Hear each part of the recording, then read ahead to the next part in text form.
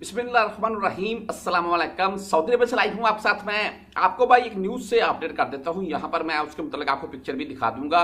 ए, मैं जब ये न्यूज़ में पढ़ रहा था खुद से आप यकीन करें मुझे खुद से बहुत खुशी महसूस हुई है क्योंकि दुनिया में बहुत सारे बंदे ऐसे भी अभी मौजूद हैं अल्हम्दुलिल्लाह। पाकिस्तानियों के मतलब ऐसे वाक़ बहुत सामने आते हैं। हाल ही में हमारा एक दोस्त है जी मैं वो वीडियो भी जल्द ताला आपके साथ शेयर करूँगा।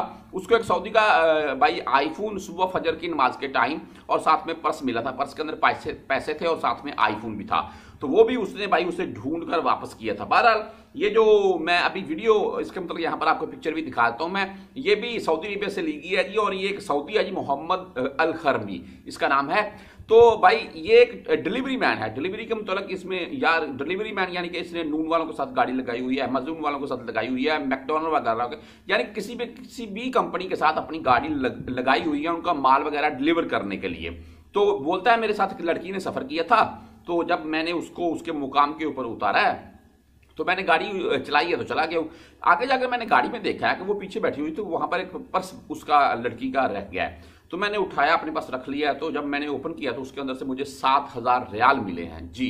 और फिर मैंने वहाँ की जो मुकीम पुलिस थी पुलिस थी, यहाँ पर उसके मतलब पिक्चर भी आपको दिखा रहा हूँ मैं।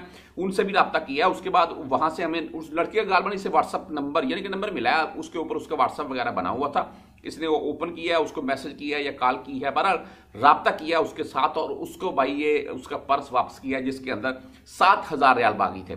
तो भाई ये सऊदी अरेबिया के सोशल मीडिया के ऊपर ये न्यूज़ गर्दश कर रही है, जो कि बहुत अच्छा इकदाम है। बात सात हज़ार हज़ार या सात लाख रियाल की नहीं है। बात सात हज़ार या एक रियाल की नहीं है। बात भाई ईमानदारी की है। किस बंदे में कितनी ईमानदारी है? ऐसे काम के ऊपर वो ज़ाहिर होती है।